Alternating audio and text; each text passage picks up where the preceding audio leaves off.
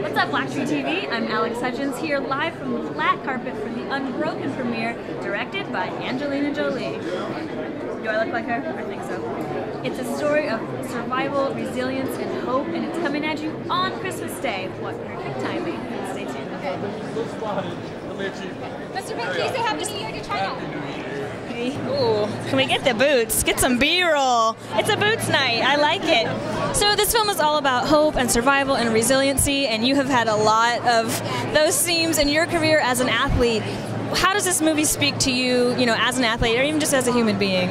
Well, I think what's great about this movie is even though you know I've gone through my own uh, fair share of things to get over, nothing like what Louis has definitely you know he's going to show in this film. And I think that what's great about it is you don't have to be an Olympic athlete, you don't have to be some soldier to be, be encouraged by how he kept fighting, his perseverance. So I think it's a great movie that's going to just help uplift people during the holidays. And uh, he's a huge inspiration to me, and I just hope that other people can just feel the light and just be determined after they watch this movie. I love that. Thank you. Okay, this is